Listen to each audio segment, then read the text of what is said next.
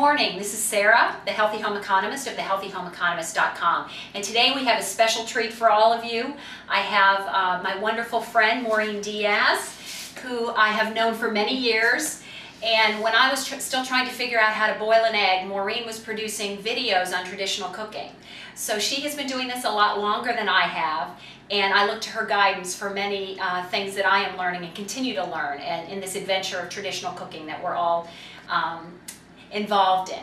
Maureen is the Weston Price chapter leader for the Gettysburg area in Pennsylvania. She is also a blogger for the Liberation Wellness blog, and she has recently produced a DVD for the Liberation Wellness Diet, and I'll put the information on that on my um, on the written part of this blog so that you guys can click on over and see what she's been up to. But for today, Maureen is going to be showing us how to make a wonderful, healthy dessert with uh, with cream, our, one of our favorite foods, cream and butter, of course. And so we can all stay slim and wonderful and energetic. And the name of this dessert is panna cotta. And with that, I will let Maureen do her magic in my kitchen. Welcome to my kitchen, Maureen. Thank you, Sarah. It's nice to be here again. Panna cotta is one of my favorite desserts and it's also a great survival tool. Now, Sarah mentioned about being slim and healthy and I have to say I'm on a, on a quite a high-fat diet and I've actually lost 50 pounds by eating this way. So panna cotta is one of these things that I enjoy. Sometimes I have it for breakfast and it's very simple to make. You're just starting with raw cream. We're doing four cups, I think, of raw cream. But I'm starting with only half of that amount in the saucepan and I'm sprinkling two and a half teaspoons of gelatin over the surface. We're going to let that soften for just a minute. Now I start with only part of the cream because I want the nutritious value from the raw cream. I don't want the cream to be cooked and then we lose some of the nutrients such as the vitamin A and the vitamin D that will be uh, broken down and diminished. So I start with um, cold cream in the saucepan, about half of the amount of cream total. We want to let the gelatin soften over the surface. And then we're just going to gently warm the cream in the pan. So I'll turn this onto about medium. And let me just show them quickly what gelatin I used.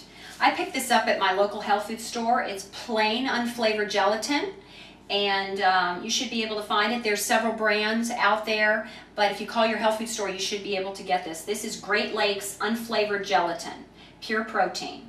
So that's what you need to get. I use that gelatin also sometimes as a treat to make jello for my kids. We don't do a lot of fruit juice because of the sugar, but we will, just as a treat, sometimes make finger jello. And so I use the Great Lakes gelatin for that same purpose, and maybe we'll put some fruit in there and top it with heavy cream, heavy whipped cream. But our gelatin is getting soft, and what we're wanting to do here is just gently stir until the gelatin is completely dissolved into the cream. Now, sometimes I take a vanilla bean and I just slice it down the middle and I'll drop that into the pan also to flavor the gelatin uh, or the cream mixture very nicely with a fresh vanilla bean. Well, I say fresh, it's not really fresh, is it? Um, but today we're just going to use a good vanilla extract after we've heated the cream. So let's just let this let this dissolve. It'll just take a minute. Okay, our gelatin is well dissolved now, so we're ready to go ahead and finish with the rest of the panna cotta recipe. I am going to add, um, today I'm going to use some honey, two tablespoons of honey. You could even use um, less, uh, probably a tablespoon is fine. Sometimes I use maple syrup, and maple syrup is a very delicious flavor in the panna cotta but we're going to do honey, that's excellent also. And we're going to also add a teaspoon of vanilla, but we'll wait until we've gotten the, uh, the cold cream and the honey added. So we'll start here. Um, is that a tablespoon, Sarah?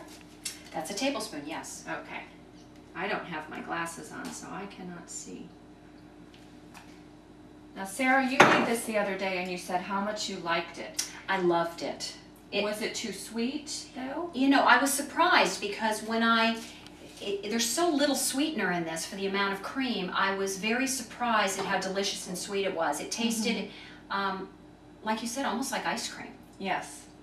Except for like it, a pudding, just... like an ice cream pudding. It yes. was, the texture of it was so uh, enjoyable. Yes. It's just smooth and creamy and velvety and wonderful. And the cream itself is sweet enough that I don't find a strong Yes. desire to add any more sweetener to it. I've cut way back. To me, one tablespoon of honey is probably enough. And since I watch my carbohydrate intake, that is important to me to use as little as possible. All right, so we've got the honey added. I'm just going to pour in the raw cream. Look at how wonderful that cream is. Oh, I just love fresh raw cream. And let me just add quickly that um, if you don't have access to raw cream in your community, and I certainly hope you do, and if you don't, please try to seek it out because it is this dessert will be the best with raw cream. Um, please do not buy the ultra pasteurized uh, organic cream at the store because that is a very unhealthy uh, substitute. What you can try to do is find low temp pasteurized cream.